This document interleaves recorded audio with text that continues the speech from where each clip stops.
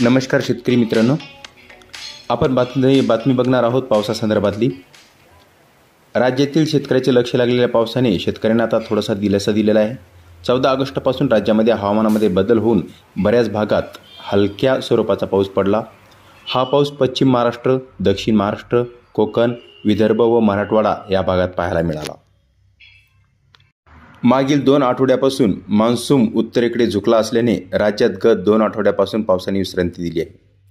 मात्र येत्या पंधरा ते सतरा ऑगस्ट दरम्यान काही ठिकाणी पावसाचा जोर वाढणार असून विदर्भात नागपूर वेधशाळेने येलो अलर्ट जाहीर केला आहे. याच कालावधीत मराठवाडा उत्तर महाराष्ट्र तसेच कोकणासह मुंबईत हलक्या ते मध्यम स्वरूपाच्या पावसाचा अंदाज हवामान खात्याने व्यक्त केला आहे.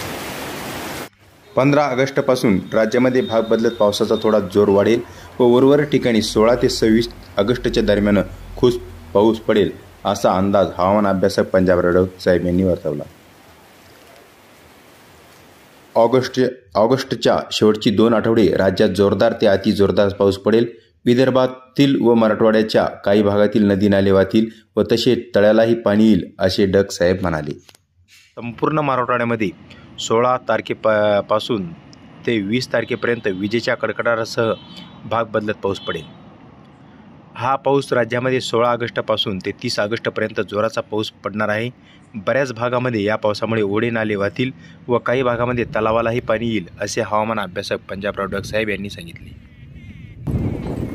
मित्रांनो अशाच नवीन नवीन माहितीसाठी माझ्या चॅनलला सबस्क्राईब करा लाईक करा आणि शेअर करा.